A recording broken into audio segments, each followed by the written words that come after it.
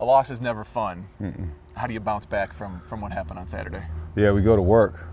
Guys were already in here yesterday. They're they're grinding. They're chomping at the bit to get better. So, for us, you know, we don't want to let this beat us twice. So we're going to make sure we do everything we can to, to get better today.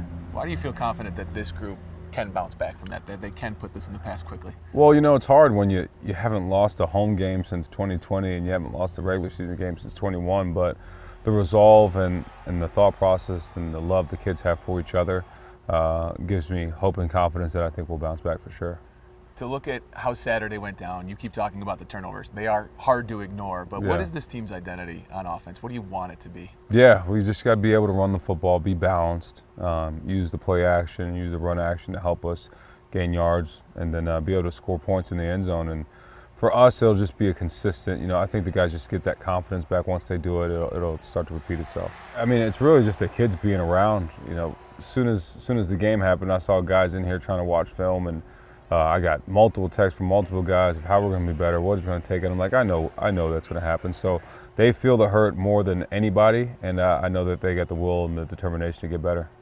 The Alex Orji runs on third down. I'm sure you could hear some of the audible groans in the stands. Mm-hmm.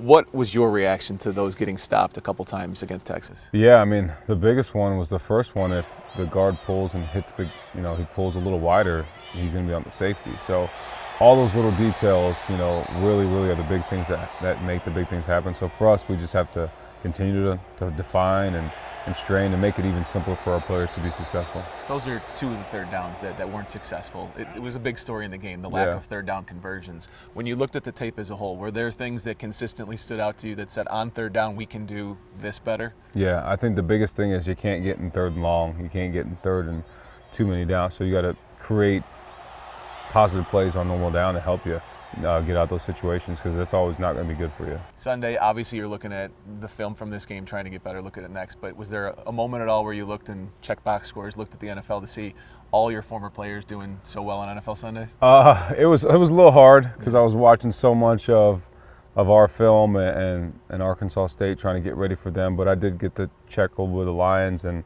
and Coach Harbaugh and, and happy for his first win.